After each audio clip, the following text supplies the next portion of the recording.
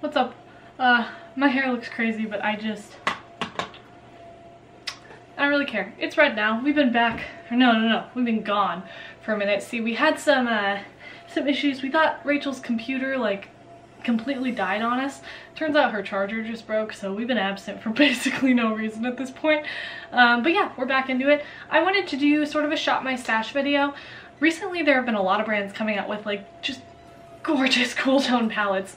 Uh, Lime Crime has one. I'll uh, have them put on screen right here. But Lime Crime has one. Um, it's like a eight pan palette, I think, and it's just, oh, it's so sexy.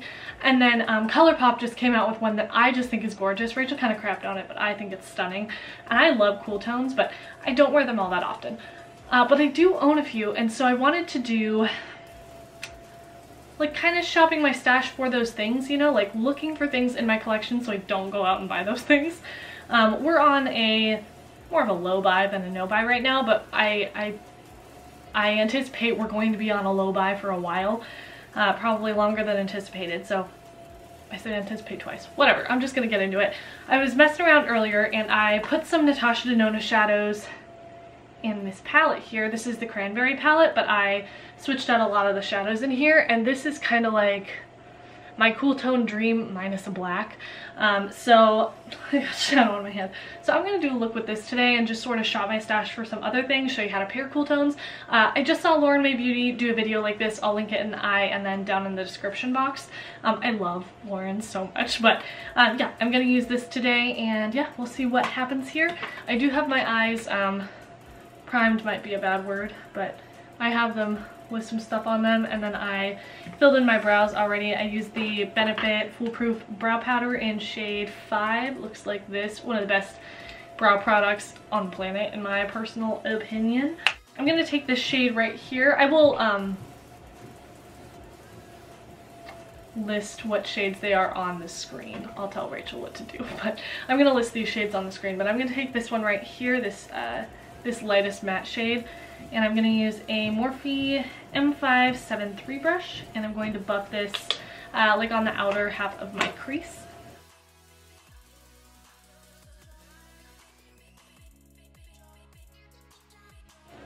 I'm just going to kind of build that gradually until I like how it looks. I want something really dramatic and like, you know, as per usual. And I kind of want that like all the way up to my brow because that's just kind of the look I go for. On a slightly smaller yet still fluffy brush, this is the Morphe M433. I'm going to take this, um, no actually not yet. I'm going to take this cranberry color. This is from the Natasha Denona cranberry palette. I believe it's called Daisy. Again, we'll list it on the screen. Um, and I think this shade just goes really well with cool tone looks. So I want to add kind of like that touch of cranberry kind of pink tone in the crease before I deepen it up even more.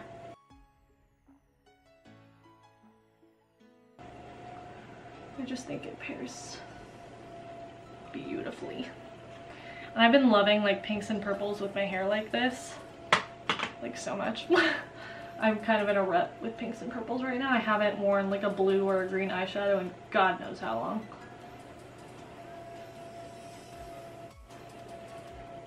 This is looking a little patchy for some reason, but I used a base I never used, so that's probably the issue. Uh, I'm gonna buff that out with that original brush that we used with the like gray color on it. And then on a JH37 brush, I'm going to take the deeper kind of gray matte here. Well, actually it's more of a satin, but I use it as a matte because I don't like a satin shade on my lid. It's just, bleh. I want something, you know, like really shimmery, but I'm gonna put this on the outer corner again, and I will use a black because I can't not use a black. It's just not something that I don't really understand how people don't use a black eyeshadow in day-to-day -day life, but like that's fine. So, how do you guys feel about cool tones? I personally think they're stunning, but I know they're not super popular. So there, are there any cool tone palettes you've been like lusting after or anything? Or do you plan to pick those up? Or I know Lime Crime is controversial, but I heard that their brand got sold um, like to a different owner. So like the original owner, I guess, did a bunch of crazy like racist stuff. I think Jay Kissa did like a documentary kind of thing on it. But they, they were like, they were like dressing up as Nazis and stuff. It was, it was intense. it may or may not come together honestly i'm to take the black this is from the um, jaclyn hill what's it called dark magic palette this is also a great cool tone palette i quite like this one honestly um, i know these were kind of hit or miss but i, I like it. So i'm going to take the black in here which is called temptress. And this is a uh, jh40 this is my favorite brush ever. I have like four of these morphe brushes. Um, they're just they're everything i need more so i'm just going to put that on the outer corner. Lower though, I'm not going to bring that up to my crease because that, that would just look a little wild.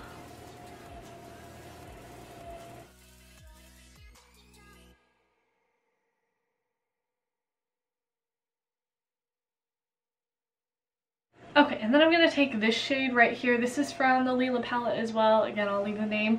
Um, it's like this gorgeous, let me swatch it for you. I mean, you'll see it on my eye, but it's this gorgeous like cool tone, purpley gray shift. Oh, it's just, it's everything I've ever wanted and more.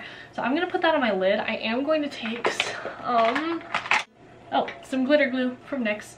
Um, I'm gonna take that on my finger and I'm gonna apply the shade with my finger because I'm just a finger ass bitch, honestly. I'm gonna put that on my lid. I'm not gonna cut my crease or anything because Ain't nobody got time for that. So I'm just gonna pat that. Can you see? Okay. Up in here. And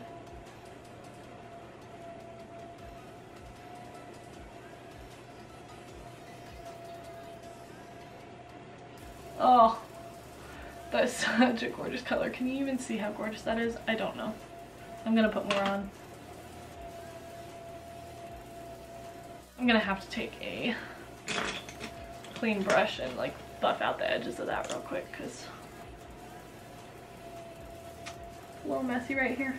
That's the the downfall of applying shadow with your finger, but you can easily clean that up. But here's what we got so far. I'm gonna add a little bit of black again, just to kind of mesh those two areas together um, instead of having it be such a harsh line with the shimmer and the matte, but Yeah, okay, I'm into it. Actually, I'm to deep it up even more. For my inner corner, I'm going to take the silver here. This is um, from the Natasha Denona Blue Brown palette. I believe it's called Aluminum. Don't quote me on that though. And I'm going to take that on a pencil brush. This is the BH Cosmetics It's My Ray Ray number 7 brush. Looks like this. I'm going to take some of that silver, tap off the excess because it's that has no mirror. It's pretty intense, but I, I, I love it. Okay, I'm gonna put that on the inner corner for some, for some pop. A little bit over the inner part of that purple there, just for fun. Um, I'm gonna do the other one real quick and then we will come back for the base. Oh my god, okay. Okay, I know things look a little crazy at the moment. Um, they will come together, I hope. I just have to kind of clean up this outer work there. Um, so we'll see how that happens. Um, I'm kind of, I've been kind of playing with the idea of doing a project pan. So let me know if you guys are interested in that kind of thing. I don't know. I It seems kind of hit or miss on what people actually want to see when it comes to that. But I'm going to go on to the base here. I'm going to start out with my handy dandy Becca under eye corrector um, and I'm going to use that on a Real Techniques crease prep brush um, because I've just been craving an under eye corrected moment here. I've been using the Pixi one because I'm trying to get more use out of that but the Becca one just it reigns supreme just because of the texture um, and the color. Everything about this is just everything I've ever wanted and more.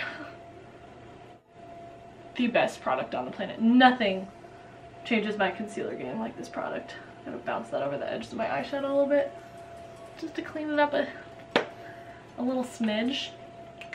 Um, and then I've been starting out with concealer first because I find that I don't need as much foundation if I conceal first because then I know where my coverage is.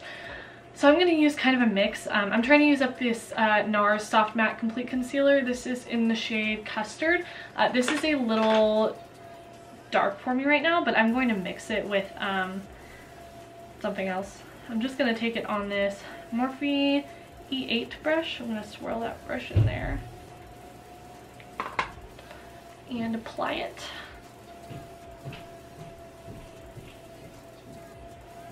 Oh god, I got a lot.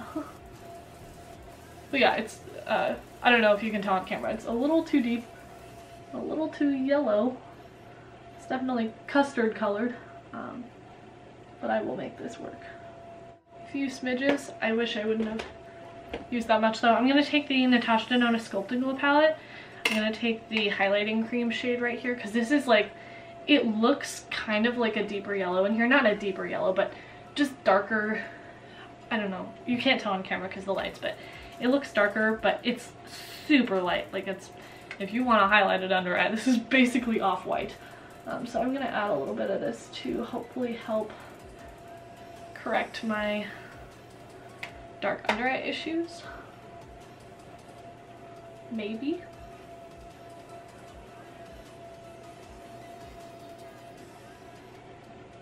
Yeah, I think that worked. And if you can't tell, like, that covered most, if not all of my redness. There's a little bit down here still, but like, after this, I, I only need a little bit of foundation, like one pump tops, so that, that's why I kind of like doing this these days. Um, I don't necessarily even do the, like, the reverse thing where you do like your cream contour and everything underneath foundation. I just find that concealer underneath foundation just, it's easier not to over apply product and I am a big advocate for not over applying product because I think if you use multiple pumps of foundation then your skin looks ugly. So, so that's all I have to say on that.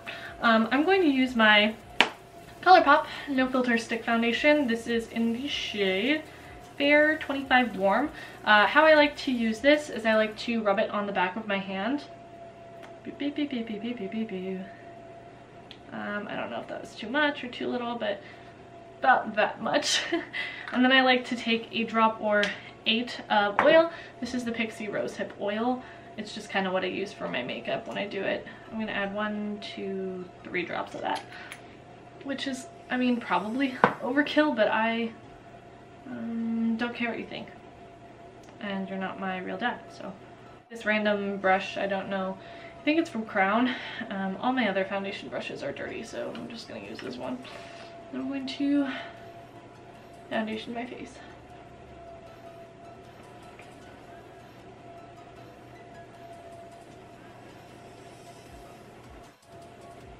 I don't like this ColourPop foundation unless I use this technique, FYI. I don't know if I've mentioned that, but I'm sure I have before, but I it's too matte for me. Um, it's I love the coverage level. It's a very um, light to medium coverage, which I just adore in a in a foundation, but this one, it's it's a like a light coverage matte foundation, which is just disgusting for one. I feel like that's kind of against the law, but maybe not. I could be. I've been wrong before, but at this point, see, I already I had too much foundation. My face is covered, so I guess I'm just gonna foundation my whole neck. Oh, I guess my chin could use a little more. On the tip of my nose, maybe. And then another technique I like to personally use when I add too much product to my under eyes specifically is I take a dry sponge and I tap out the rest of that coverage on my under eyes because there was too much stuff and I don't like too much stuff. I was just talking about how I don't want to over apply and I just really fucked it up with concealer so that was nice. And hold on, I gotta fix my outer corner a little bit here. Um, I'm going to just continue using this palette. I'm going to go in first with the cream contour shade. Where is my brush? I'm going to use a BH Cosmetics number three brush. This is also one of my favorite foundation brushes of all time, but it's just cream, creamy. It's just dirty with cream product, so I'm going to use that contour. And I know I've told you guys this before, but I just freaking love this palette. I'm sorry that this is a bougie tutorial. I just, I love Natasha Denona with my whole heart. I love the brand. I love everything about it. And I just, I'm really happy with this eye look so far actually because I've been uh, messing with the Lila palette and just not having great luck with it. Like on its own, it just, it's not like it looks bad. It's not like the shadows go patchy or anything. Um, I have a video too where that goes wrong. I'll link it in the eye, but it's not like the shadows go patchy. It's just, I don't like how the look comes out, which is weird because I love the color story.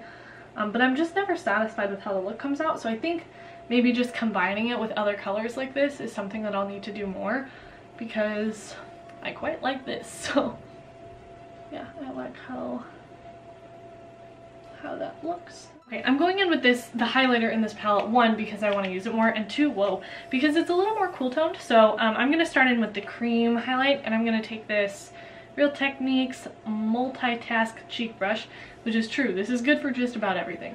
So I'm going to take some of that cream highlighter. I'm just going to buff it, I guess. It's very, like, it's very natural, I think. Um, it's got a nice gloss to it, but the undertone, I think, of the powder highlight is what I don't like. I'm going to use it today, um, but it's just, I think it's a little too cool toned, maybe?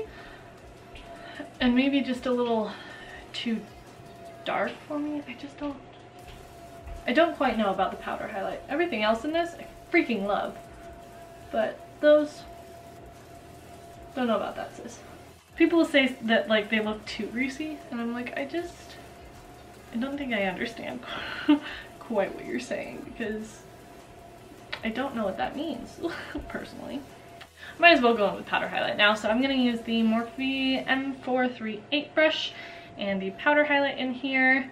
And this is, this is a very dusty highlight. I don't know if you can see how much powder kick up I got in here. It looks very pretty on the skin, but like,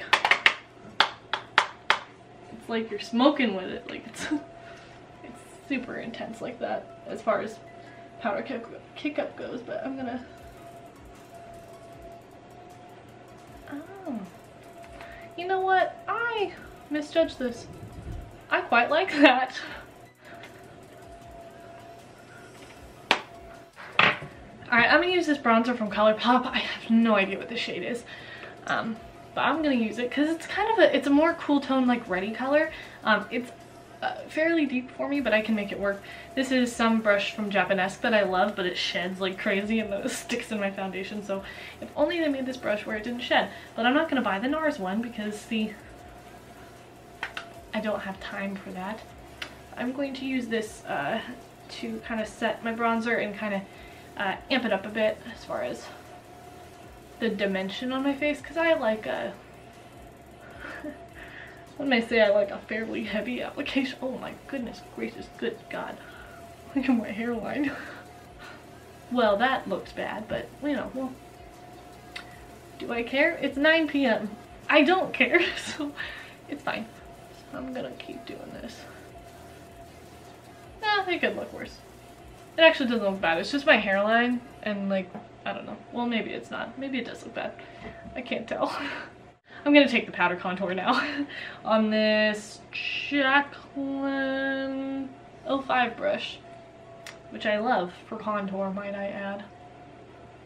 Just kind of do its thing. I don't normally contour, but if I do, I'm using this color because it's perfect. For blush, I'm gonna use this Alamar Cosmetics Blush Trio, one of my faves of all time. If you'll focus, you'll see we hit pan, which is so cool. I'm gonna use this shade because it, it's more cool toned and uh, also very pretty. So I'm gonna use that on this uh, Wet n Wild brush. Oh, this is the shade Toasted, by the way. It's probably gonna look pretty intense because it is, but I like a pretty heavy blush application, so it doesn't, it don't bother me too much. All is wet. I'm gonna go on with my foundation brush and just pat this out. The hair. Will you focus, please? God. Bless it. Okay.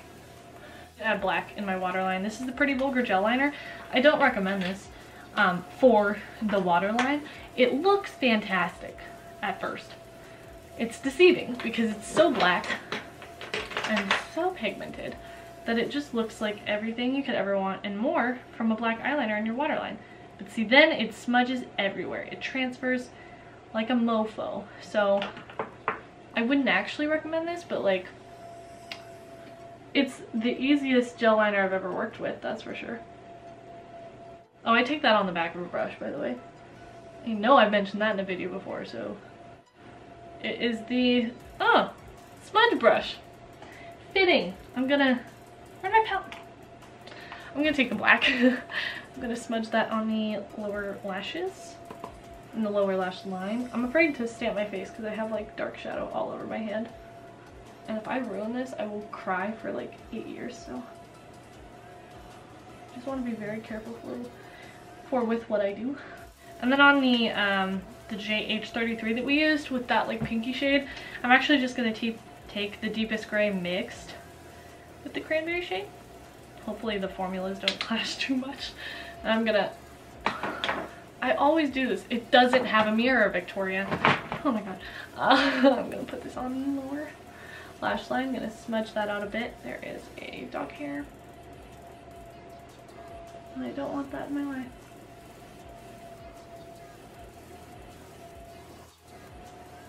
Did the lighting change? Or am I tripping? I don't. Take um, a translucent powder of some kind um, I'm just going to use the Japanese blotting powder from the Natasha Denona Sculpting Glow palette.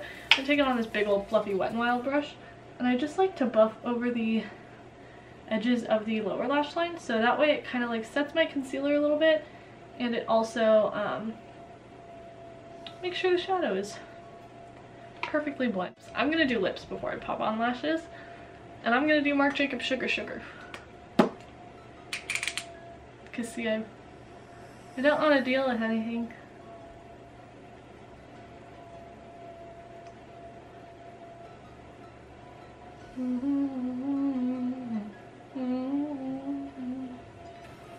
Oh, beautiful, perfect, I love it. Actually, on top of that, I'm gonna go over with the Milani Keep it Full Nourishing Plumper in Prismatic Peach. I don't know if you can tell, but we have absolutely none of this left. There's just like a little bit that I can scrape out on the edges here. So yeah. So this is the completed look um, with all of my stuff. I did decide in my absence while putting on lashes, I am going to film a Project Pan video. I'm gonna do it. And I just want, I think I want to challenge myself. Uh, we tried one time and we did one update and then we failed miserably, so we'll see. Um, but I think I'm gonna do that. But uh, let me know uh, your thoughts on A, cool tones, and if you slander them, I will block you. Just so we're clear on that because I love them. Uh, and let me know your thoughts on like all the new releases. Are you shopping your stash more? Are you still buying everything that comes out? Like are you still in that buy buy buy habit or are you more like I have enough I'm gonna tone it down because that's kind of where I'm at. There's a few things that I'm like I kind of want to you know snatch that up but for the most part I'm, I'm pretty satisfied with the million thousand makeup items I own. So uh, yeah, I hope you enjoyed the video. Um, please subscribe before you go. Let's put that out there because uh, clearly who wouldn't want to watch this hot mess uh, do more videos. And my twin sister, obviously, but she's like secondary. This is Victorials, you know, not Twintorials. We're doing a name change. Anyway, I will see you guys later, and I hope you have a swell evening or morning or afternoon, wherever you are. Um, yeah, hope to see you in the next one. Bye-bye!